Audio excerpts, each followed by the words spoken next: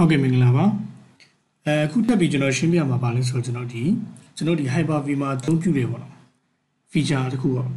Virtual Memory နဲ့ပတ်သက်တာပေါ့နော်ကျွန်တော်ဒီ Virtual Memory ပတ်သက်တာကျွန်တော်ပြောပြပါမယ် sorry ဒီမှာကျွန်တော် lesson နံပါတ်မချိန်လိုက်ပြီနော် lesson 07မှာ chapter 3ရဲ့ lesson 07မှာ okay Virtual Memory နဲ့ပတ်သက်ရင်ကျွန်တော်ကဒီမှာကျွန်တော် Hyper-V မှာနှစ်ခု option တစ်ခုရှိပြဒီ VM create လို့လို့ရှိရင် memory သက်ပတ်တာတစ်ခုက fixed ပါတစ်ခုကကျွန်တော် dynamic ပါနှစ်ခုရှိတယ် okay fixed နဲ့ dynamic က fixed ကဘာလဲဆိုတော့ထားပါတော့ကျွန်တော်တို့ VM တစ်ခုကျွန်တော် VM တစ်ခု create လုပ်လိုက်ရင် FVM တစ်ခုကျွန်တော် memory သတ်မှတ်ပြီးတယ် fixed နဲ့သတ်မှတ်လိုက်လို့ရှိရင်ထားပါတော့ fixed နဲ့ကျွန်တော်သတ်မှတ်လိုက်တယ် memory 2 GB RAM ကိုကျွန်တော် 2 GB လို့ကျွန်တော်သတ်မှတ်လိုက်တယ် 2 GB လို့သတ်မှတ်လိုက်ရင်တကယ် FVM လေး run လို့ရှိရင်ကျွန်တော် FVM တကယ်လို့ run လာရင် physical ပုံမှာတကယ်နေရယူတယ်ဟုတ်ပဲရတယ်2 GB လုံးဝနေရယူတယ်ဘယ်ပုံမှာနေရယူဆိုတော့ physical physical RAM ပေါ့တကယ်ရှိရ memory ဒီမှာ 2KTD နေရာယူရတယ်စပြီးတော့နော်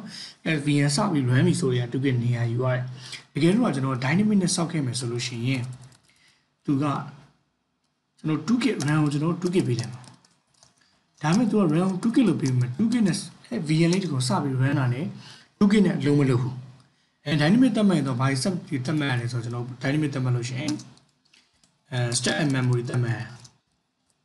stack run ရှိမယ်ကျွန်တော်တို့ minimum run ရှိမယ်ကျွန်တော်တို့ maximum run ရှိမယ်အဲ့ဒါကြီးသတ်မှတ်တကယ်လို့ကျွန်တော်ကဒီ dynamic နဲ့သတ်မှတ် run 2k လို့ပေးလိုက်ပါမယ်ဒီ run 2k ကဘာဖြစ်သွားလဲဆိုတော့ကျွန်တော် maximum 2k ဖြစ်သွားတယ်အဲ့ stack ကိုကျွန်တော်စ run အဲ့ကျွန်တော် vn လေးကို512 နဲ့ကျွန်တော် run ခိုင်းလို့ရတယ်အဲ512 ရဲ့ run နေနဲ့လိုအပ်လာလို့ရှိရင်သူအနည်းဆုံးဒါ512 ပဲပေါ့စတာနဲ့ minimum 512 နဲ့သွားမယ်တကယ်လို့ဒီကျွန်တော်ရဲ့ vn လေးပေါ့ဒီ vn လေးကကျွန်တော်လိုအပ်လာလို့ရှိရင်ဒါကကျွန်တော်ရဲ့ vn VN တစ်ခုရှိမှာနော် 1VN တစ်ခုရှိတယ် FVN နဲ့လိုအပ်လာရင်သူစ RAM 512ပဲ RAM မယ်တကယ်လို့ memory ကိုတဖြည်းဖြည်းနဲ့သူသုံးနေသုံးနေနေမှာသူ့ရဲ့အထက်မှာရှိတဲ့ VN ထဲမှာရှိတဲ့ application service တွေက RAM 512တဲ့ပို့လိုလာလို့ရှိရင်သူထပ်ပြီးယူလိမ့်မယ်။အထောက်အသူ 1K ယူလိမ့်မယ်။ 1K လိုလာရင်သူဒီတွေကမှာထပ်ပြီး 1K မြင့်မယ်။အဲ 1K ကနေမလောက်ဘူးသူလိုလာရင်ထပ်ပြီးနောက်ထပ် 1K တက်မြင့် 2K ဖြစ်မယ်။ Okay ကျွန်တော်တို့ကဒီမှာ dynamic မှာ maximum 2K လို့ပြောထားတဲ့အတွက် 2K ဒီပဲသူထပ်ပြီးသုံးလို့ရမယ်အဲ့ VN လေးက 2K ကျော်သွားရင်တော့တုံးလို့မရဘူးဒါပေမဲ့စပြီး run ရင်လည်း 2K နဲ့လုံးမလုပ်ဘူး and step error နဲ့စလုပ်တယ်လုံနေလုံနေသူလိုအပ်လာရင်သူထပ်ပြီးမြင့်မြင့်မြင့်နေမှာနောက်ဆုံး 2K ထိသွားလို့ရမယ်ဒါကကျွန်တော် dynamic memory ပေါ့နော်ဟောကျွန်တော် slide လေးချက်ကြည့်အောင်အဲကျွန်တော် memory ကိုကျွန်တော်ဒီ allocate လုပ်မှာပေါ့နော် VN တခုကျွန်တော်ခွေးလို့လိုက်ရင်ဘယ်လောက် memory သတ်မှတ်ပေးရမလဲဆိုတော့ကျွန်တော်သတ်မှတ်ပေးရတယ်အဓိကတော့ဘယ်လိုပဲကျွန်တော် virtual memory သတ်မှတ်သမဲ့တကယ် physical memory ပေါ်မှာအခြေခံထားတယ် physical memory မှာမရှိပဲတဲ့ဟာကိုတော့ကျွန်တော်သွားပြီးတော့မြင်လို့မရအောင်။ဒါမှမဟုတ် physical memory မှာကျွန်တော် RAM က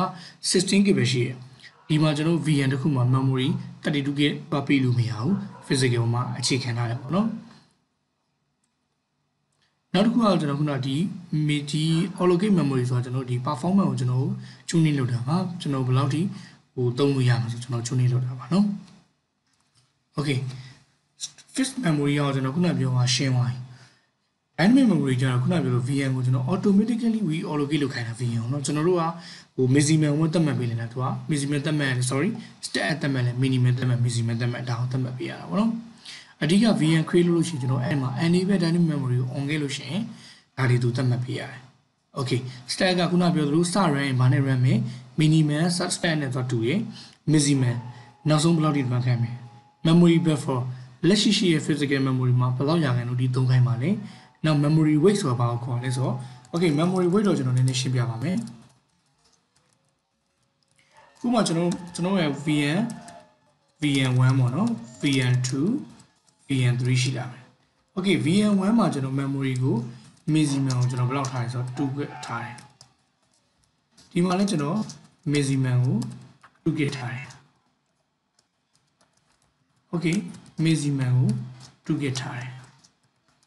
အသုံးလုံးမှာကျွန်တော်တို့ VN တစ်လုံးကပထမဆုံး VN1 ကနေပြီးတော့ maximum memory စလို့လာတယ်အရင်ဆုံးဘယ်သူ့ကိုဦးစားပေးမှာတကယ်လို့ကျွန်တော် memory ကတကယ် physical memory မှာကျွန်တော် 4K ပဲရှိပါဒါပေမဲ့အောက်က VN သုံးလုံးမှာ 2K စီပေးတာတကယ်လို့အဲ့ဒီမှာကျွန်တော် priority မြင့်ဆုံးကဘယ်သူ့ကိုကျွန်တော် 2K အမြင့်ဆုံးပေးမယ်ဒါပါတော့ဒီကောင်ကိုကျွန်တော်က memory weight ကိုကျွန်တော်တိုးလိုက်တယ်ဒီကောင်ကိုကျွန်တော် memory weight ကို hide ထားလိုက်ရင်ဒီသုံးခုတွေမှာပထမဆုံး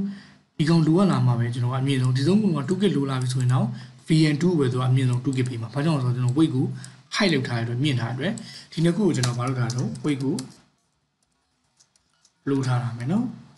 ဒီကောင်ကိုလည်းကျွန်တော် weight ကိုလိုထားတာမယ်ဒါဆို height ဖြစ်တဲ့ကောင်မှသူဦးစားပေးနေနဲ့စာပြီးတော့ပေးမှာပေါ့နော် okay အဲ့ဒီသဘောတရားတစ်ခုပါဒီ memory weight ဆိုတဲ့သဘောတရားက အဲကျွန်တော် memory ကိုကျွန်တော်ဘာမှကြည့်မယ်ဆိုကျွန်တော်တို့ hyper v လေးကိုချက်ဖွင့်လိုက်မယ်နော်ဖွင့်လိုက်ရင်ဒီမှာလက်ရှိတရားမှာကြည့်လို့ရတယ် dynamic memory ဒါ andy ပဲ disable ဖြစ်နေတော့ဒီကောင်ဆိုလည်း disable ဖြစ်နေသူနဲ့ပတ်သက်ပြီးသွားကြရင်ကျွန်တော် setting တွေကိုသွားလို့ရတယ်ပြီးရင် memory ဒီမှာကျွန်တော် andy ပဲ dynamic memory online လို့ရတယ် online တာတပင်းနဲ့ကျွန်တော် minimum ဘယ်လောက်နဲ့စ rank ခိုင်းပါလဲအမြင့်ဆုံးဘယ်လောက်နဲ့စ rank ခိုင်းပါလဲနော်ကျွန်တော်အနိမ့်ဆုံး512ထားလိုက်မယ်အမြင့်ဆုံးကိုကျွန်တော်4096ဒီမှာကျွန်တော်ပြတ်မှတ်ထားတယ်ခိုင်းထားလိုက်မယ် ဒီမှာပြော memory buffer ဘယ်လောက်ရခိုင်သွားခိုင်းမလဲပြီးရင်နောက်တစ်ခုက memory VNA ရှင်လာရင်ဘသူ့ကိုကျွန်တော်တို့သူ့အမြင့်ဆုံးပေးခိုင်းမယ်ဒီ setting တွေကျွန်တော်ချိန်လို့ရတယ်ပြီး okay okay ဒါကကျွန်တော်ဒီမှာ enable လိုက်ရင်ဒီရောက်မှမြင်ရနော် minimum ဘယ်လောက်နဲ့သွားမယ်အများဆုံး512ဘယ်လောက်ထိရှိလို့ရဒါကိုပြောခြင်းဖြစ်ပါတယ်ဒီမှာဆက်လို့ရပါတယ် okay ဒါကကျွန်တော်ဗာလဲဆိုတော့ဒီ virtual memory နဲ့ပတ်သက်ပြီးကျွန်တော်ရှင်းနေတာဖြစ်ပါတယ်နောက်တစ်ခုကျွန်တော်ဆက်ပြောပါမယ်ဗာလဲဆိုတော့ကျွန်တော် spec paging file ကိုကျွန်တော်ပြောပါမယ် တော့ VN တခုမှ smack page မှာရှိပါတယ်ဒါကဘာလဲဆိုတော့ကျွန်တော်တို့ကျွန်တော်နားနေ smack page မှာဆိုနည်းနည်းရှုပ်သွားလိမ့်မယ်ဒါကျွန်တော် virtual memory တတ်မှတ်တာပါ okay VN တခုကသူကတကယ်လို့ memory တော့မလောက်တော့ဘူးမလောက်တော့ဘူးဆိုကျွန်တော်တို့ VN new feature တခုနော်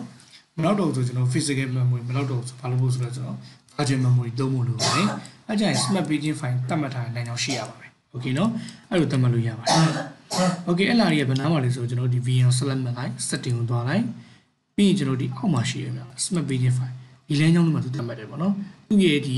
VM ရှိရဲ့ location တွေမှာသွားပြီးတော့တတ်မှတ်ပေးပါတယ်။ဒါကကျွန်တော် smart paging file တတ်မှတ်တဲ့နေရာပါ။ Okay ဒါကအဓိကအဖြစ် physical memory မလောက်လို့ရှိရင်သူ virtual memory တခုကိုဒီ smart paging file လမ်းကြောင်းမှာတွားပြီးသတ်မှတ်ပေးမှာဖြစ်ပါတယ်